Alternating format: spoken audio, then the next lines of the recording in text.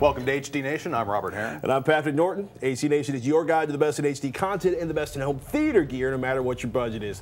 Blu ray, online, satellite, cable, over the air. If it's in HD, we like it. Yep, well, before anybody asks, I'm just about sure we never get to review the Google Android powered HD TV from People of Lava that was announced this week. But if anybody in Sweden can get their hands on one when it hits in September, well, let us know what you think, please. yeah, we just had to say People of Lava. Now that is a brand name. Nothing against Samsung or Vizio or Sony, but People of Lava. Yes, People of Lava. On a more serious note, we're not panicking yet, but an appeals court decision this week pretty much slammed the FCC to the ground and kicked it over and over again for telling Comcast that Comcast had to treat all broadband streams equally, i.e. the whole concept of net neutrality. This could have some interesting effects on how well movies and other big fat files move across the internet. Why? The court pretty much said the FCC isn't empowered to regulate ISPs, ergo ISPs can do whatever they want, at least, you know, unless somebody else regulates them, in terms of throttling traffic moving across their network. Now, I'm pretty sure Comcast, who sued the FCC and the other major ISPs, don't want to find themselves the subject of, say, major regulation set down by, say, inactive Congress. I, especially if, say, Congress says, yes, the FCC has the power, here's the law we wrote to say that they have the power, which would be really kind of ugly to watch.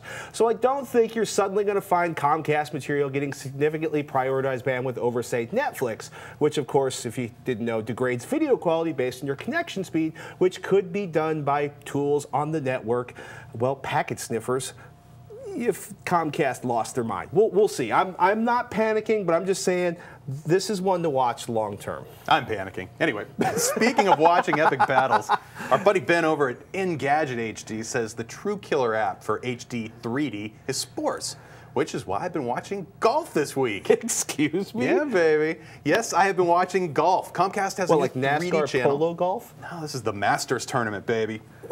So wait, Comcast? I, yes, I have a reason for watching this though. Comcast, uh, my TiVo actually popped up a message saying you have a brand new channel, and it says, oh, it's called Com 3D HD TV or 3D HD TV. Yeah, that's what it is.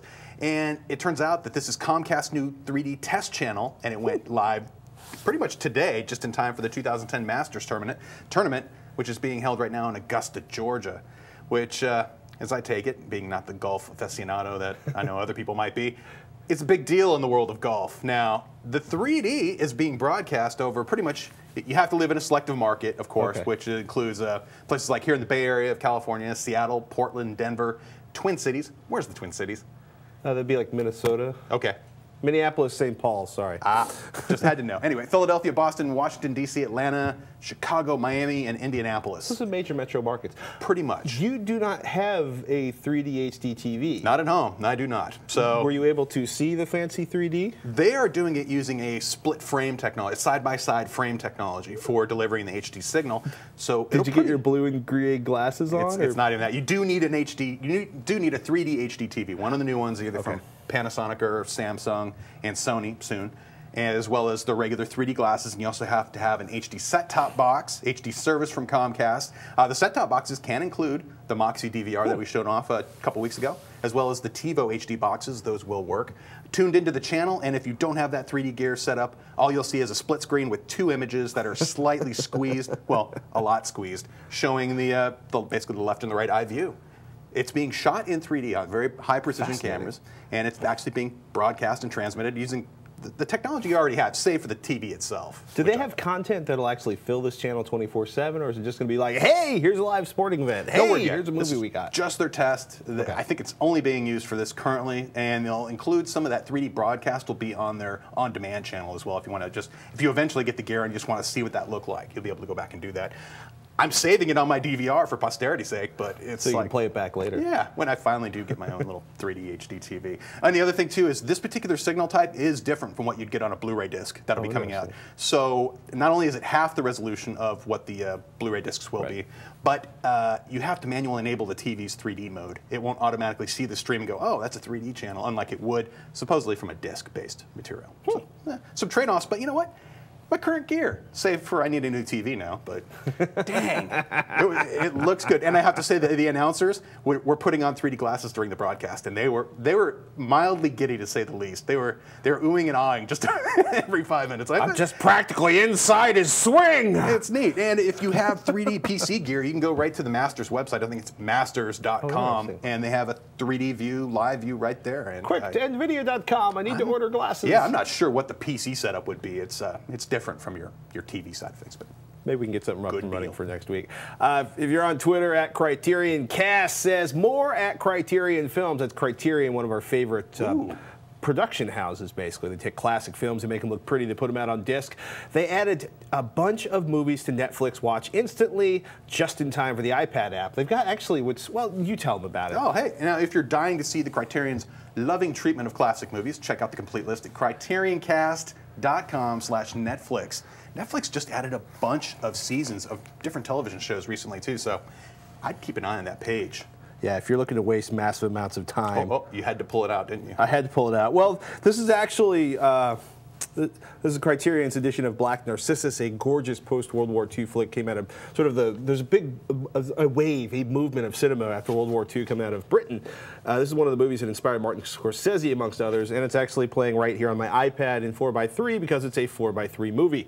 Um, this can also play iTunes HD video, so you can get your 720p-ish video on on the wee little screen. Look at the size of those black bars. And if you, yeah, well, if you if you want to minimize the black bars, it'll automatically Oh. crop it for you. So hey, kind of slick. you can lose the edge detail That's fancy. in exchange for the uh, black bars. YouTube and iTunes Video both play back in dedicated applications, just like the iPhone. If you're like me, you're thinking "Ah, another portable HD player, right? Well, don't get too excited because the video output is either via a composite cable or VGA output from the dock accessory. Wow. What year is dock- this? Oh, it gets even worse, dude. I, I, I get, I'll explain in a second. The dock maxes out at 1024 by 768, the native resolution of the screen, which is a tad short of 720p's 1280 by 720.